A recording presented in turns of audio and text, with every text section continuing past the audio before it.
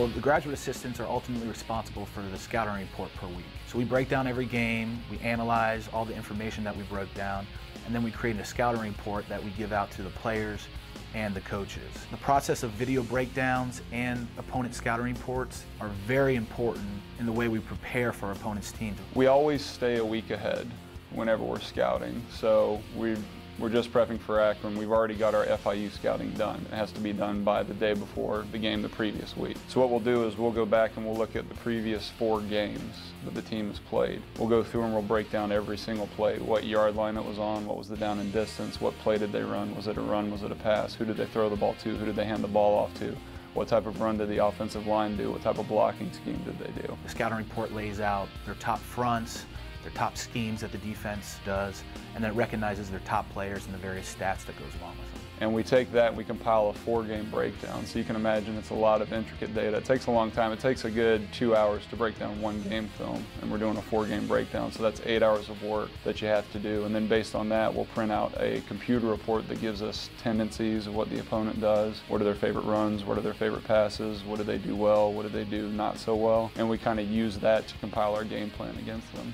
So that's mainly what scouting is. If our scouting reports and our video breakdowns aren't efficient, then that will stall and hinder the whole game plan for the week, which we all know in, in the football world, in football season, every day, every minute, every hour is so vital. There really can't be any delays in your preparation.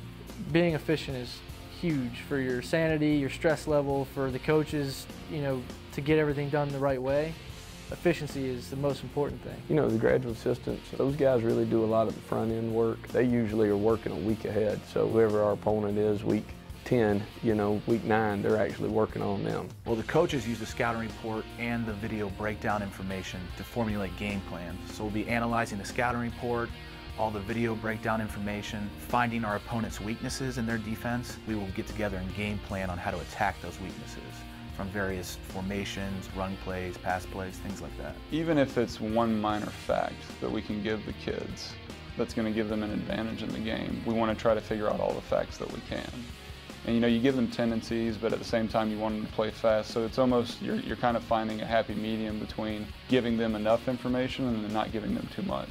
So you want to find like a happy balance of, you know, five or six sheets, here's a scouting report, here are their top five runs, here are their top five passes, so that that way hopefully whenever the player goes out on the field, he's able to recognize, okay, this is that set that Coach Fleming was telling me about. I got to be alert for a pass or a run read right here. And whatever we can do to get them in a better position to be successful, that's the whole purpose of it.